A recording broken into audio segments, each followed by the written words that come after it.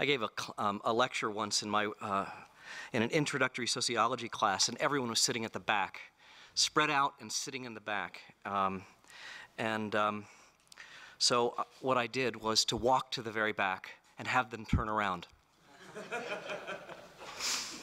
I'm tempted to move the podium over here, and uh, but I do want to thank you, Professor Williams, uh, Professor Olson, other faculty and fellows of the Wheatley Institution, for your uh, invitation to come and your warm welcome. This is my first trip to Provo and uh, uh to uh, BYU, and I'm delighted to be here. Thank you very much. I do want to warn you that I am a bit old school. I don't have PowerPoint. Um, I'm not very funny. Um, but um, and, i have also, uh, as the other uh, participants in this conference know, I'm not a very practical person, but I think the kinds of things I want to say today will wrap around to the most practical issues possible. So bear with me. Um, I'll ask you for that. In the realm of lived experience, there is no such thing as ethics or morality, at least not as an analytically distinct and hermetically isolated discourse. Ethical and moral discourse in lived experience is always of a fabric with history, biography, aesthetics, social and political institutions, and so on. There is then something artificial about any discussion of the state of the ethics, which is what this conference has really been all about, that does not at least aspire to make sense of this complex tangle of factors. Even lay people tell stories of how all these factors tie together and they fix their lives and identities within those stories. So, what are the narratives? While not mutually exclusive, they're at least two popular and largely opposing narrative streams concerning the state of the ethics or state of morality in contemporary life. These narratives have a long history in the West, though they've been told with different specifics within different generations. These are important for many reasons, but not least because they form a backdrop for much of the academic discussion of the moral life today.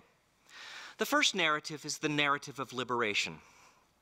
And it begins with a picture of the past in which social life was morally homogeneous. This uniformity was sanctioned by convention and enforced by a network of ruling institutions religious, familial, and political, institutions that not only stood guard over the boundaries of moral behavioral propriety, but in more subtle ways reinforced the threshold of shame. The moral life of more traditional societies then was socially, behaviorally, and psychologically domineering toward the majority and its cruelty toward those few who, for whatever reason, actually violated its strictures was often hard, merciless, and vindictive. The challenge to the authority of these institutions and their leaders has, in recent generation, led to a loosening up of its moral codes, providing greater personal autonomy on how to live, a protection of individual liberties, and at the psychological level, a liberation from guilt. The excesses of liberty and the range of illicit behavior is a problem, but a problem best dealt through the enactment and enforcement of rules, regulations, and principles. The narrative of decline, the other narrative, begins with much the same picture of the past. And yet the milieu of moral hom homogeneity in traditional cultures, while rooted in convention, was in fact enforced by a consensus of conscious, free agents who enjoyed the ordered liberty that a strong moral code and the character types that derived from it provided. The challenge to the moral authority of the leading social institutions has been the initiative of activists and extremists on the margins of the social order. Their unlikely but remarkable success may have provided more autonomy for people but it also generated a permissiveness in the culture that has led to the derision of wholesome virtues, a contempt toward social authority and the order it provided, and untold human cost measured in the ruin of marriages, the breakdown of families, the increase in crime and violence and a range of socially irresponsible and destructive behaviors. Though rules and regulations have their place in addressing these issues, the decline in moral behavior is best addressed through the renewal of character, the cultivation of the constraints that are internal to consciousness. So, those are the two main storylines. And there may be some truth in both of those narratives, but what makes them difficult to reconcile is that each is surrounded by a certain quality of myth which means that in popular consciousness, they are more powerful than the historical evidence actually allows. These myths are also linked to different and competing political agendas with extensive institutional support in special interest groups and political parties. As such, the discourse on the state of the ethics in our society is at best clouded from the start. It is true that all, all narratives, in a way, are ex post facto readings or interpretations of history and experience. And these are no different. Both, in my view, are inadequate accounts of what are, in fact, complex changes that are deeply rooted in the structures of late modernity. My purpose this afternoon is not so much to affirm or critique one or the other, but if anything, to do an end run around both of those narratives by offering a more complex reading of the state of the ethics, of state of ethics, and to offer some considerations as to what might be done to enhance ethical standards, sensitivity, and, and practice. So, in the end, this might be an alternative narrative, but I don't really intend it to be anything so elaborate or grand.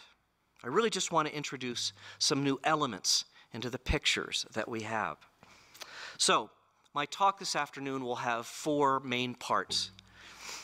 And here, let, let me give some background for this. All cultures, all civilizations are formed in a trialectic between structure, social organization, ideas, and the actions of institutions and individuals. So let me try to make my case by addressing these three main factors. I'll first consider some structural factors at work in our historical moment. I'll then reflect on changes in the world of ideas and how they relate to those structural factors. Next, I'll consider the strategies we've devised for addressing these challenges and the way these strategies tend to prove problematic. And finally, I'll bring my remarks to a close by looking at some things that I hope might help us think um, um, differently about our, our present challenge.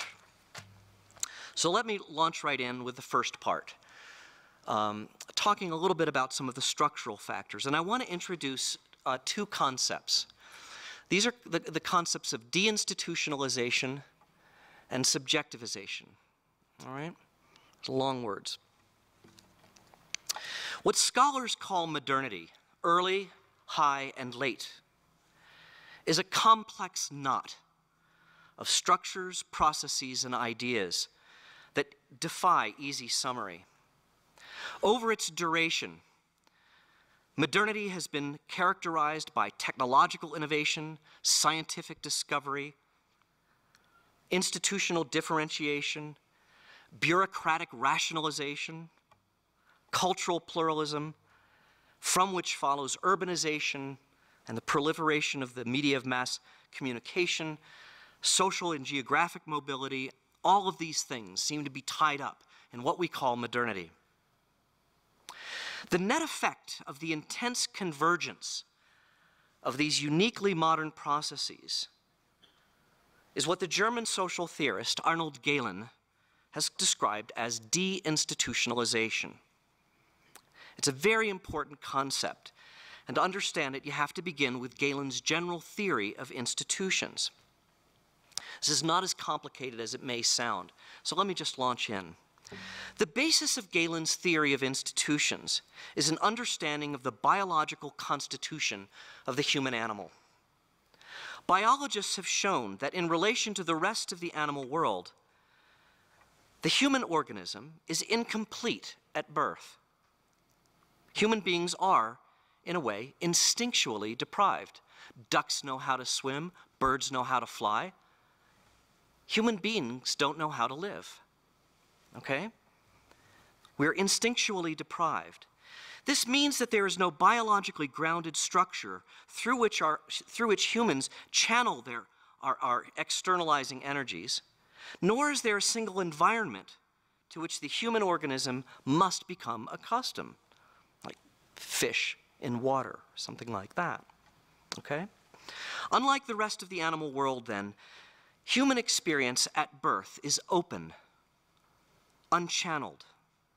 The problem is that this is biologically and psychologically intolerable. Human beings cannot survive in these circumstances. What are institutions? Very simply, institutions are human constructions that provide for human beings what their biology does not. Institutions function like instincts in that they pattern individual conduct and social relationship into habitual and socially in a habitual and socially predictable manner. Not only do they establish behavior with a pattern, but institutions provide human experience at the cognitive level with an intelligibility and a sense of continuity. And so, by living within the well defined parameters of a matrix of institutions, Human beings don't have to reflect on their actions, they can take their social world for granted. What this means is that institutions exist and operate as a stable background to their experience. But institutions and the background that they provide to human experience is not all of experience. Against this background is a foreground, a zone of life in which the individual, in fact, does reflect, ponder, deliberate, and makes choices. So, the former, that is the background, institutions, this matrix of institutions, provides the structural context for the foreground, for choice, reflection, and so on. Gehlen's argument is that deinstitutionalization occurs when an aspect of our culture that used to be taken for granted becomes a matter of choice. What used to be part of the background now becomes part of the foreground. And so marriage is deinstitutionalized when the normative codes regulating a specific type of social arrangement lose their plausibility and thus the structure and functioning of that nuptial relationship becomes open ended, a matter of choice. All right? According to Gehlen, one of the most important aspects of modernity is that the foreground of choice is growing and the background of stable institutional patterns is receding. Modernity is characterized, in other words, by an unprecedented degree of deinstitutionalization. And yet, the processes of deinstitutionalization take place mainly in the private sphere, in the private realm of personal and family life and other primary relationships. The areas of child rearing, courtship, marriage, sexuality, vocation, religious belief and practice, consuming be, uh, patterns, leisure, the basic norms which guide social behavior and social exchange are, in advanced industrial societies, all radically deinstitutionalized. Things that used to be taken for granted, now we have to think about, ponder, reflect, and choose. And this is different. This is distinctive about the modern age. But this isn't the end of the story. According to Gehlen, there's a corollary to the process of deinstitutionalization, and he calls it subjectivization. And what do I mean by that? When over the course of time, stable institutional routines and patterns, habits of life, are rendered implausible, when they're no longer taken for granted, individuals must choose how to live. Choosing means that you necessarily turn inward to the realm of your own subjectivity, where one has to continuously reflect, ponder, and probe one's newfound choices. Personal autonomy, that is, doing one's own thing, then, is not simply a social fashion, but rather a structural necessity in the context of modernity. The German social philosopher Helmut Schelsky described this phenomenon as permanent reflectiveness. Permanent because it is intrinsic to the modern world. And nowhere do we see these dynamics of deinstitutionalization and subjectivization play out more than in the realm of identity. In times past, if you were born into a certain family, there was just no question of who you would be and what you would become. I imagine somewhere back in my past, in fact, I can trace it pretty accurately to uh, the Highlands of Scotland. Um, my family were a family of hunters, and there was just no doubt about what succeeding generations would become. Okay? But now it's a matter of choice. All right? It's a matter of reflection. And this, this, this transformation this, and the turning inward that, is, that follows upon it, uh, of trying to figure out within oneself who one is and what one is to do, um, has, has, has been mirrored at the same time with the growth of psychology and psychiatry, disciplines that are designed to help you figure out who you are. All right? That is the rise and triumph of a therapeutic culture um, has mirrored these very these, these structural processes. So the first thing that I'm saying here is that part of what's going on in the state of our ethics is in fact um, a structural transformation something that called, Gehlen calls deinstitutionalization and subjectivization. The background of taken for granted life has receded.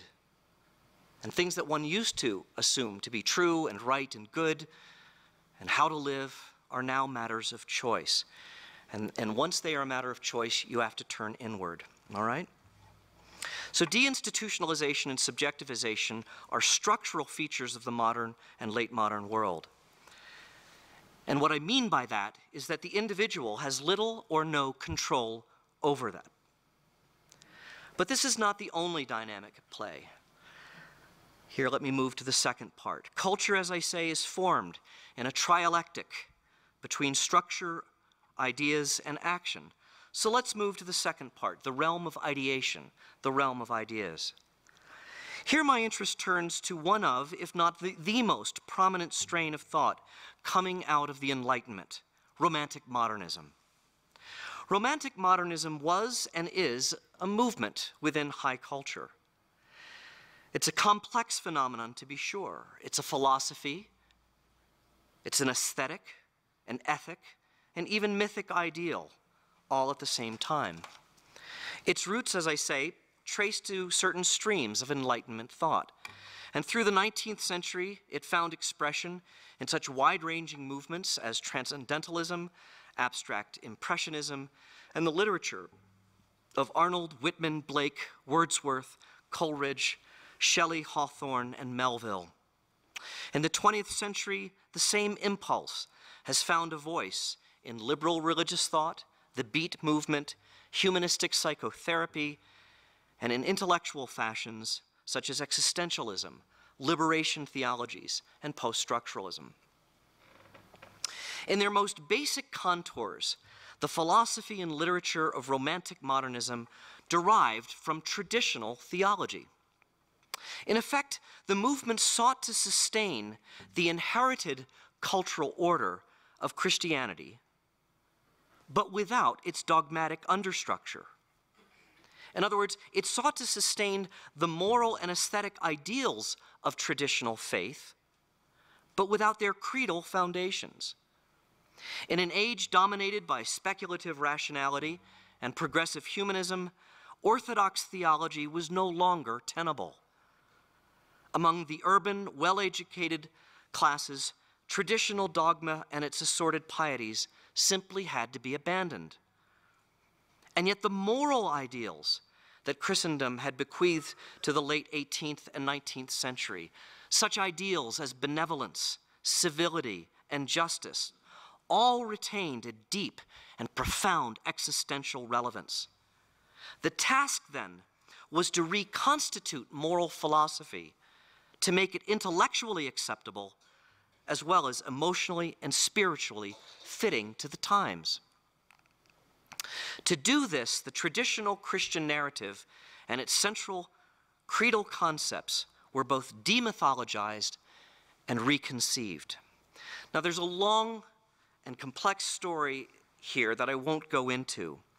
Let me just say that at the heart of this reconstitution of theology and moral philosophy was an attempt to relocate the value, uh, the, the source of moral value and significance. The earliest streams of Romantic modernism aspired to establish moral significance in a high view of nature, nature with a capital N. Transcendentalists, for example, sought to ground their view in this way, as have a certain, certain streams of liberal theology.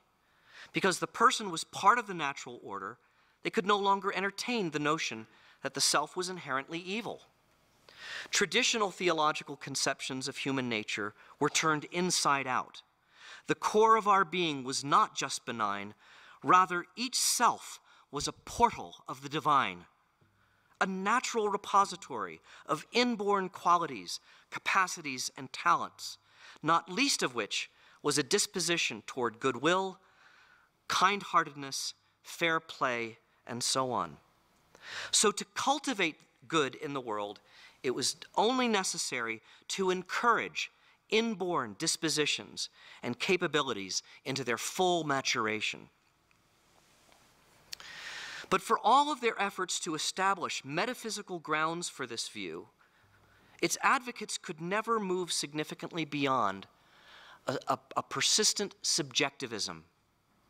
The early Romanticists eventually abandoned their metaphysical aspirations and concluded instead that the only conceivable source of value and purpose was the necessity of the individual self. In this light, neither nature nor any deity was the source of value, but only the occasion for humankind to protect it. Culture and the order it provided merely symbolized self generated values. In principle, therefore, anything that repressed emotion or constricted individual autonomy or violated the individual's expressive freedom undermined the development of the self's natural endowments and capabilities. And its net effect would be to fashion a self that existed in opposition to its true and natural propensities. Repressed selves would in turn reproduce an oppressive social order. And so the goal was to liberate the individual from all of these constraints. Institutions continue to exist, of course, but their legitimacy now depends upon their capacity to accommodate the expressive and utilitarian needs of the individual.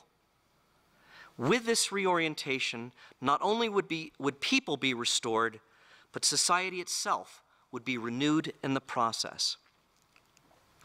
In sum, Romantic modernism is the cultural foundation for what Charles Taylor has called the age of authenticity.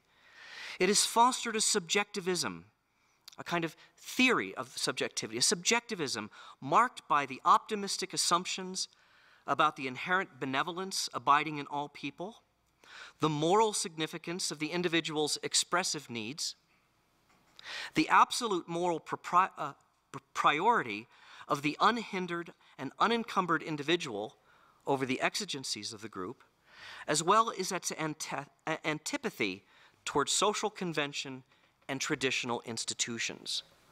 This subjectivism provided a framework of literary, artistic, and intellectual legitimacy, in other words, to the subjectivization already at work in the structures of modern life. It was also utterly compatible with and reinforced other, the other key stream of Enlightenment thought, which is utilitarianism. in at least two key respects the autonomy of the self from all social encumbrances, and the sovereignty of the self as the final arbiter of moral judgment. What I'm saying here, as I bring this second part to a close, is that the structural and the ideational are overlapping. These are obviously very different spheres of reality, and thus they operate on very, uh, according to very different dynamics. And yet, to use the old Weberian concept, they have an elective affinity for each other. They share the same ideological structure. But here again, if culture is formed and sustained in a trialectic between structure, ideation, and agency, then how do our strategies of moral action fit into this situation? Going beyond structure and ideas, let's move to action and see how our strategies of moral action and agency fit into this situation.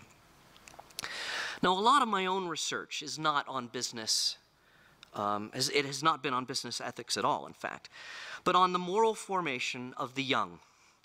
And so I'll focus my attention more on this, recognizing that while informed by different streams of philosophical reasoning, there are significant points of overlap with other forms of moral and uh, ethical education. Perhaps the enduring subtext in the evolution of moral and ethical education in America and its continuing story to the present has been a subtext of the quest for inclusivity. Okay?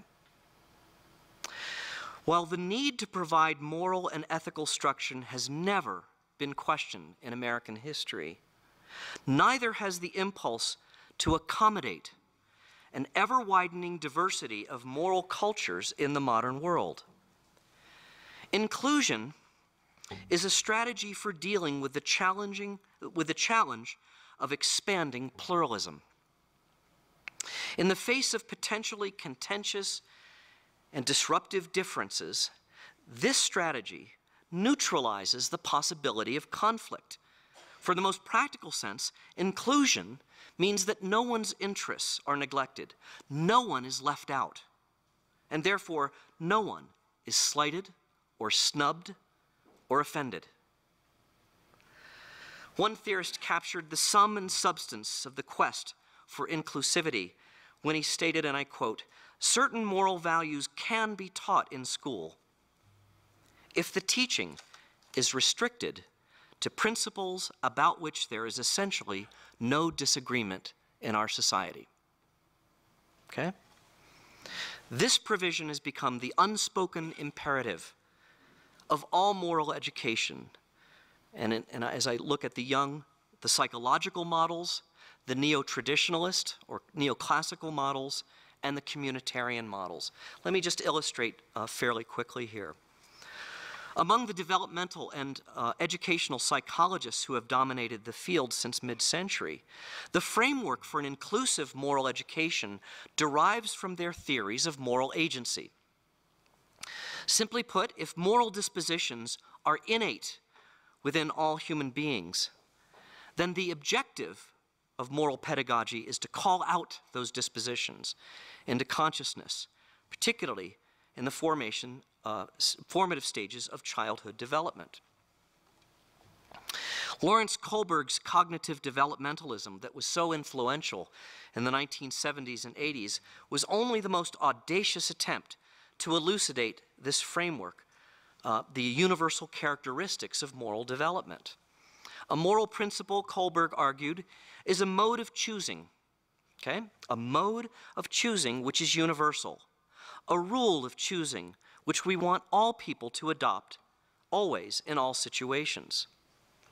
In particular, the principle of justice is, and I quote, always the same ideal form, regardless of climate and culture, end quote. Only by turning justice into an abstract universal ideal could Kohlberg insist that the, that the teaching of it was the only, and I quote again, the only constitutionally legitimate form of moral education in the schools. Okay?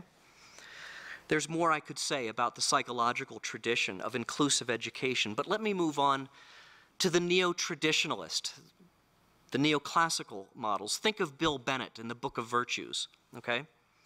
The imperative for an inclusive morality for children is equally unquestioned among the neo-traditionalist moral, educator, uh, moral educators, except that they pursue inclusiveness not in psychology, but in anthropology. Thus, when these educators affirm what C.S. Lewis called the Tao, they affirm moral principles found across all traditional cultures, principles for which there is no essential disagreement. Likewise, when they speak of their commitment to the timeless values of the Judeo Christian ethic, they speak of values that are enduring across time, and therefore values that transcend contention and conflict. Now, the third major school of moral education approaches it differently. The communitarians um, approach inclusivity not in psychology, not in anthropology, but rather in sociology.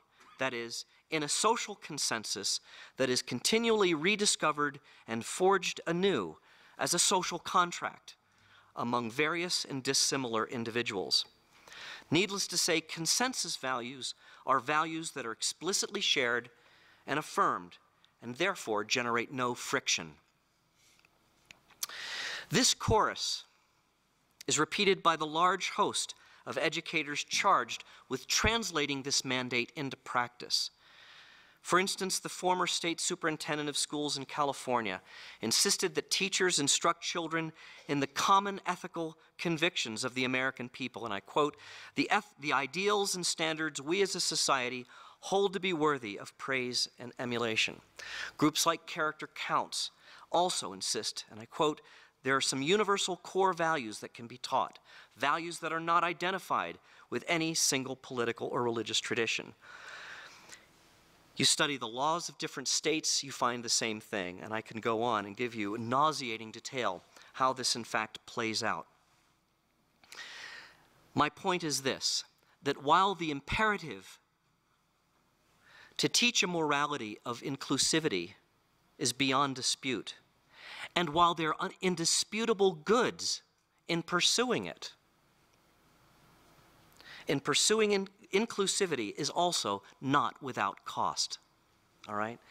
And let me turn my attention to that. The unintended consequence of a strategy of inclusiveness in moral and ethical education is that it can only be pursued by emptying lived morality of its particularity. Those thick, normative meanings whose seriousness and authority are embedded within social organizations of distinct communities and the collective rituals and narratives that give those communities continuity over time. The net effect of this denial of particularity that's implicit within a strategy of inclusiveness is to engage in some extraordinary evasions. Let me just illustrate. Consider, for example, the treatment of moral exemplars in the, in the psychological strategy. Kohlberg's cognitive developmentalism is, uh, is unique in the psychological strategy, but his treatment of Martin Luther King is actually typical. King is enshrined as the personification of a just human being. In Kohlberg's model, he exemplifies stage six moral reasoning autonomous, conscious oriented morality pointing toward universal principles of justice.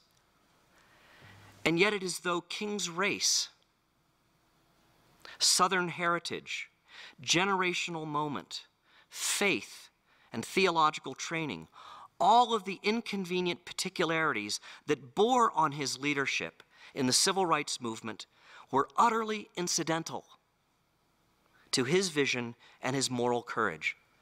Those particularities are simply erased, ignored. It's as though they don't exist at all. Though the circumstances and issues are so different, it's certainly the same effort to evade the sticky problem of particularity that the psychological strategies tend to avoid issues like the moral dilemmas surrounding abortion, gender, homosexuality, other sexual issues, and so on. These matters simply cannot be addressed without getting into the particularities of moral commitment and the traditions and communities that ground those commitments. But that's just one side. The neo traditionalists deny particularity as well, but in its own way. When the advocates of the neo traditionalists' perspective champion the Tao, the Tao, or the Judeo Christian ethic, in fact, they are championing an ethic that has never existed in reality and now only exists as an ethical abstraction or as a political slogan. Communitarians do the same thing, and I won't go into that. I'll just keep, keep, keep moving along. Um, one of the things that happens with the denial of particularity, and one of the evasions that happens, is the um, avoidance of the why questions, the why questions um, behind moral agency. Why should one tell the truth rather than a lie? Why should someone shun cruelty in favor of compassion? Why should one pursue fairness for others when one's own interests are not served? And on and on and on. These are natural questions to ask, and not just by children. They point to the deep, long standing questions at the foundation of moral philosophy far from abstract philosophical inquiry. These why questions are implied every time we witness evil or cruelty or betrayal. And we ask, why did they do this? Why did they commit such a horrid act? And they arise just as often when we witness acts of great kindness or self sacrifice. And we ask, where did that generosity come from? But for the most part, moral educators believe that the virtues are self evident goods that need no justification. The historical and empirical problem is that the reasons why one should be good are many. Their stubborn plurality signals just the kind of irreducible differences that cannot be homogenized into an encompassing morality. In response to the question, why be good, or why not be cruel, a commitment to inclusiveness limits one either to the banalities of therapeutic or utilitarian reasoning or to just awkward silence. In sum, the subtext of an inclusive moral and ethics education is not the absence of a, mor of a morality, but rather the emptying of meaning and significance and authority from the morality that is advocated. The effort to affirm an inclusive morality reduces morality to the thinnest of platitudes, severed from the social, historical, and cultural encumbrances that finally make them concrete ultimately compelling. Virtues are espoused as ungrounded generalities that can be found in various social organizations and cultural traditions, but they're not essentially linked to them. So, deprived of anchoring in any normative community, this morality retains little authority beyond its own aesthetic appeal. In the same way, by rendering the self either prior to or outside of community and culture, contemporary moral education empties the self of any concrete social and metaphysical grounding. And you see, the problem here is that there have never before existed in history generic values. Okay? That's the problem. And yet, this is precisely the subtext of contemporary strategies of moral action. That's what they end up offering. So, why is this a real problem? Why should one, anyone worry about the specifics, especially since we are so likely to disagree on those specifics? as long as we're united on the overarching and overall norms. Well, this is the question that Charles Taylor addressed in his question in his book, The Sources of the Self. He suggested that it's the particularities that lead us to the sources of morality, the sources that sustain our commitment to goodness and fair play. The answer to these questions speak to the higher purposes that take us beyond ourselves and that in turn make morality compelling. It's one thing, he argues, to affirm general standards of goodness, and quite another to be motivated by a strong understanding that human beings are eminently worth helping or treating with justice, that is, of having a sense of dignity or value. High ethical standards, Taylor has argued, require strong moral sources, and without them, there is little imperative and no direction for moral action. Let me skip ahead very briefly to the end of this section and then bring my remarks to a close. My point really is, is this that the when, when moral and ethical discourse are taken out of the particularity of moral community, the social networks and rituals that define its practice, the Weltanschauung that gives it significance and coherence, and the communal narrative that forms its memory both the self and the ethical ideals it seeks to inculcate operate in a void. Filling that void, in part, is a system of rules, laws, procedures, principles, and entitlements designed to ensure due process among individuals and groups who are assumed to be maximizing their own interests. A myriad of good intentions stand behind each system of compliance, each federal and state regulation, and each court order. But here too, there are unintended consequences. In such an environment, the very idea of developing uh, values, cultivating character, seeking justice, generating good human beings is difficult to imagine, much less realize. So let me bring my comments to a close. What I've been arguing here then is that the structural, that structural realities built into the modern world, the major cultural movements within scholarship and aesthetics, and the leading moral strategies we have developed to address the problems in morality and ethics all reinforce each other. What does this mean? Well, first, it means that the narrative I've tried to unpack is fundamentally different from the dominant narratives about morality in American culture today. The story I have tried to tell is not so much a story of liberation, though liberation is clearly something we all enjoy. Nor is it a story of decline, though one finds evidence clearly of moral corruption and decadence, deterioration, and so on. The story I've tried to unpack is a story in two parts.